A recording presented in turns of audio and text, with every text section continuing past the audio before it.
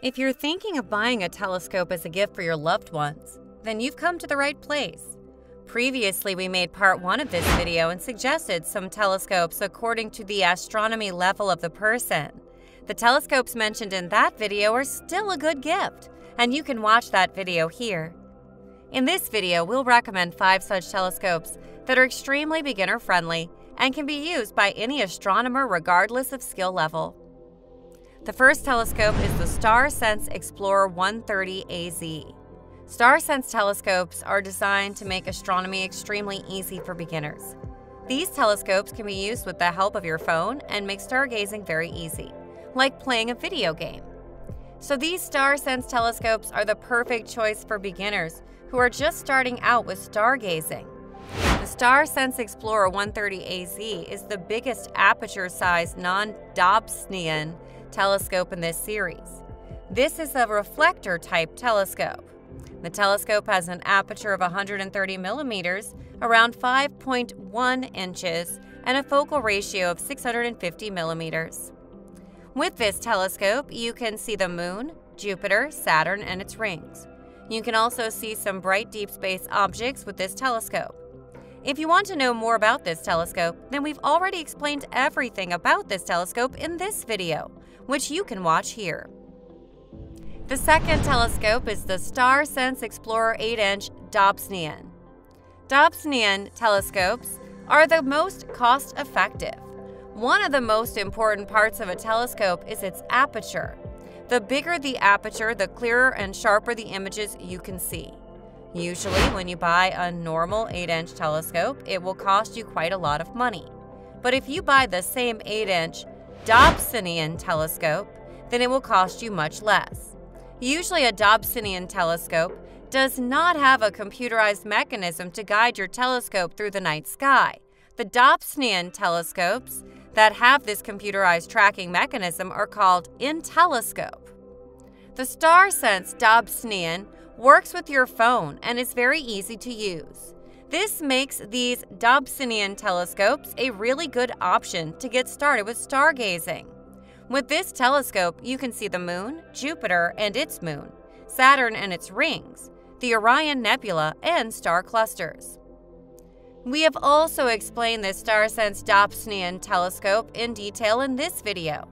And if you want to learn more about different Dobsonian telescopes, you should watch these videos on the channel. The third telescope is the Skywatcher SkyMax 150 Pro. The Skywatcher 150 telescope is not completely ideal for beginners, but with a little bit of effort, this telescope can also be used by beginners. The telescope is a Maksutov Cassegrain type telescope. We've explained these different types of telescopes in these videos, so make sure you watch them. This telescope has an aperture of 150 millimeters or around 6 inches. Its focal length is 1800 millimeters and its focal ratio is 12. This telescope is very compact and you get only the optical tube assembly with it. You have to purchase them out separately for this telescope. Mak telescopes have a very long focal length and are very good for observing the planets and nearby objects in great detail. The higher focal length helps you zoom in on the nearby objects to observe the small details of those objects. This telescope is perfect for people who really want to look at planets and nearby objects in great detail. The fourth telescope is the Zhumell Z100. This is another small tabletop Dobsonian telescope. This is the cheapest telescope in this list of telescopes and is perfect for beginners who are on a tight budget. This telescope has an aperture of 100 millimeters or around 4 inches and a focal length of 400 millimeters and its focal ratio is 4. Usually Dobsonian telescopes are big and heavy, but this small tabletop Dobsonian model is very lightweight. This makes this telescope very easy to carry around to different stargazing locations. With this telescope, you can see the Moon, Jupiter, and Saturn. So if you want a budget telescope, this is a really good choice that won't break the bank. The fifth telescope is the Nexstar Evolution 8 Edge HD. This is the most expensive telescope you can find on this list. The telescope is huge and has great performance. Usually, this telescope is for the advanced level of astronomer, but a beginner can also use it very easily. This telescope is built in such a way that even a beginner can get the maximum benefit from it. This is a Schmidt Cassegrain type telescope. The telescope has an aperture of 8 inches or 203 millimeters. Its focal length is 2032 millimeters with a focal ratio of 10. On top of that, the optics of this telescope come with Edge HD technology.